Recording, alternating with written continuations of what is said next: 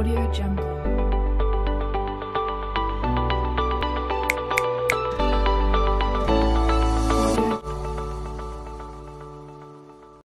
আসসালামু আলাইকুম। সবাই কেমন আছেন? আমি তো রহমত অনেক ভালো আছি। আজ আমি বানাবো মেয়নেস আর স্যান্ডউইচ সেটা আপনাদের সাথে শেয়ার করব। তো এখানে আমি এক কোয়া রসুন পেস্ট করে নিয়েছি। আর আমি সাথে দিয়ে দিব হচ্ছে গুঁড়ো দুধ। এক চার চামচ করে, দুই চার চামচ গুঁড়ো দুধ দিছি। আর দিয়ে দিব এক চার চামচ হচ্ছে চিনি। তো এগুলো দিয়ে আমি নিয়ে নিব তেল। এই তো আমি এক চার চামচ চিনিটা দিয়ে দিছি। আর নিয়ে নিছি আমি হাফ কাপ তেল। তো তেলটা অল্প অল্প করে দিব। আর এটাকে আমি মিক্স করে নিব। তো আমি ইলেকট্রনিক ভিটারটা নিয়েছি ভিট করার জন্য। আমি ব্লেন্ডারে নেইনি এই জন্য যে একটা ডিম আর হচ্ছে অল্প। সেই কারণে আমি ব্লেন্ডারটা নিয়ে নিই। তো আপনাদের একটু বেশি হলে অবশ্যই ব্লেন্ডারটা নেবেন। ব্লেন্ডারে ব্লেন্ড করলে অবশ্যই ভালো হয়। তো এই তো আমি একটু একটু করে ভিট করতেছি। আর হচ্ছে তেল দিয়ে দিচ্ছি। তো এই যে আমি আস্তে আস্তে ভিট করতেছি, এই তো কীরকম ঘন হয়ে আসতেছে এটা।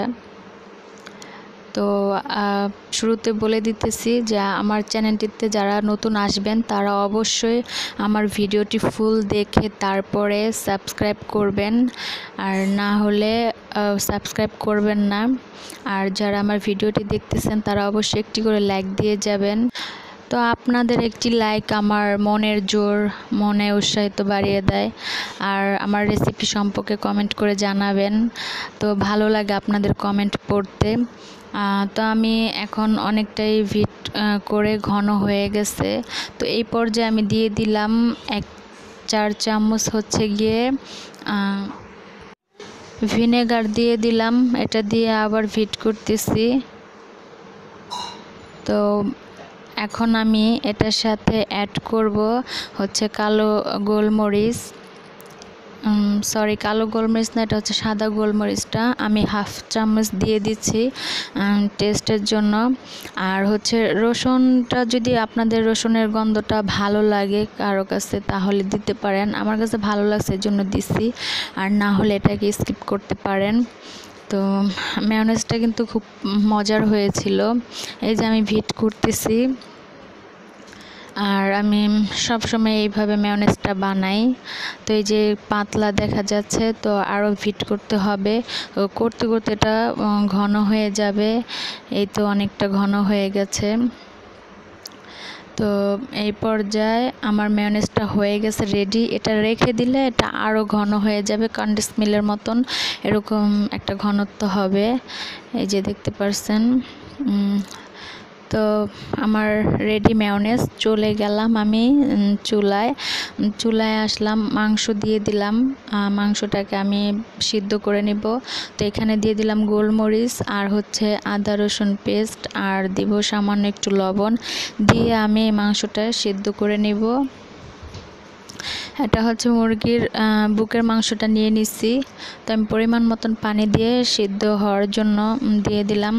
মাংসটা সিদ্ধ হয়ে গেছে, এখন আমি ঠান্ডা করে নিয়েছি।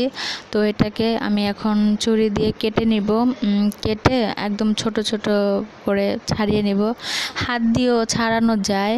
তো আমি একটু ছুরি দিয়ে ছাড়িয়ে নিতেছি।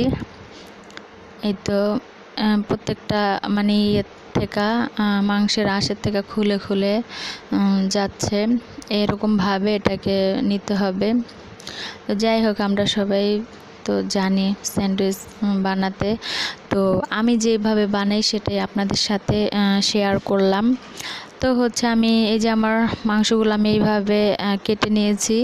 এখন আমি একটা বোল নিয়ে নিলাম। এটার ভিতরে মিক্স করব সব কিছু তো দিয়ে দিলাম মাংসগুলো।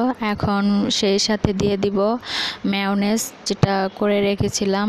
তো আমি আমার পরিমাণ মতন দিয়ে দিতেছি। এই যে কি সুন্দর হয়েছে মেয়নেজটা তো আমি এখন নিয়ে নিতেছি আমার পরিমাণ মতন। এই তো দিতেছি। তো আমার যদি লাগে তাহলে আবার দিব। এখন আমি একটু মিশিয়ে নিব। এটাকে তো আবারও সবার কাছে একটি রিকোয়েস্ট থাকল আমার চ্যানেলটি সাবস্ক্রাইব করে আমার পাশে থাকবেন, আমাকে সাপোর্ট করবেন, আর ভিডিও দেখে কমেন্ট করে যাবেন, আর একটি করে লাইক দিয়ে যাবেন। আর লাইক না দিলে মনের উৎসাহটা বাড়ে না, মনটা খারাপ হয়ে যায়। ভিডিও ছাড়ার আনন্দটাও জাগে না। তো সবাই প্লিজ আমার ভিডিওটি দেখে আমাকে সাপোর্ট করবেন। আর আমি এখানে আরেকটু মেয়নেজ নিয়ে নিলাম। আমার মনে হচ্ছে লাগবে।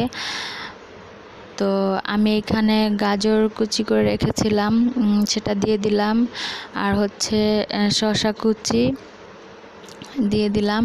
আর আমি এখানে টমেটো কুচিটা দিয়েছি। আপনাদের ভালো লাগলে দিবেন টমেটোটা, না হলে নাই, স্কিপ করতে পারেন। তো আমার কাছে ভালো লাগছে, সেজন্য আমি দিয়ে দিলাম। আর যদি এখানে একটু লবণ প্রয়োজন হয়, তাহলে স্বাদ মতন দিতে পারেন। যদি লাগে তাহলে। তো মেয়নেসে লবণ আছে। আমি কিন্তু মেয়নেসে একটু লবণ দিয়েছিলাম। সেটা বলতে ভুলে গেছি। আর মুরগির মাংসটা আমি যখন সিদ্ধ করেছি তখনও লবণ দিয়েছিলাম। আর হচ্ছে এই যে আমি পাউরুটিটা নিয়েছি সেটাকে আমি সাইডের এগুলো কেটে নিচ্ছি। আর বলতে চাই যে আমি যে ধরনের পাউরুটিটা নিয়েছি, এই ধরনের পাউরুটিটা আপনার নেবেন না। এটা আমার অনেক অসুবিধা হয়ে গেছে, স্যান্ডউইচের শেপটা সুন্দর আসেনি। তো যে প্লেন যে পাউরুটিটা আছে সেটা অনেকটা সুবিধা হয়। এই পাউরুটিটা একদম ধরা যায়নি হাত দিয়ে অনেক পাতলা ছিঁড়ে যেত। তো আমার মানে অনেক এই হয়েছে, কষ্ট হয়েছে। এই পাউরুটিটা অবশ্যই দুধ দিয়ে দুধ দিয়ে কিংবা চা দিয়ে খেতেই ভালো লাগে। তো এটা স্যান্ডউইচের জন্য নয়, এরকম পাউরুটি আপনারা আনবেন না।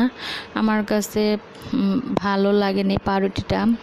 এমনি খেতে ভালো, কিন্তু স্যান্ডউইচ বানানোর জন্য পাউরুটিটা সুবিধা হয়নি। তো এই যে মিক্সড করা সবগুলো রেখেছিলাম। তো আমি এখন দিয়ে দিতেছি স্যান্ডউইচের ভিতরে। তো এই যে দিয়ে একটু হাত দিয়ে চাপ দিয়ে নিলাম। তো এইভাবে এখন আমি একটু কেটে নিতেছি স্যান্ডউইচের শেফ আকারে। আর আপনারা দেখতে তো পারছেন, দেখে বুঝতে পারছেন যে পাউরুটিটা কতটাই যে ধরলেই পাউরুটিটা ছিঁড়ে যায় ধরলেই মানে ভেঙে যায় এরকম একটা অবস্থা। তো এই স্যান্ডউইচগুলো আমি বানিয়ে নিলাম। তো সবাই ভালো থাকবেন সুস্থ থাকবেন আল্লাহ হাফেজ। মানুষের ছবি তুলছিলি? না তুলবি কিনলে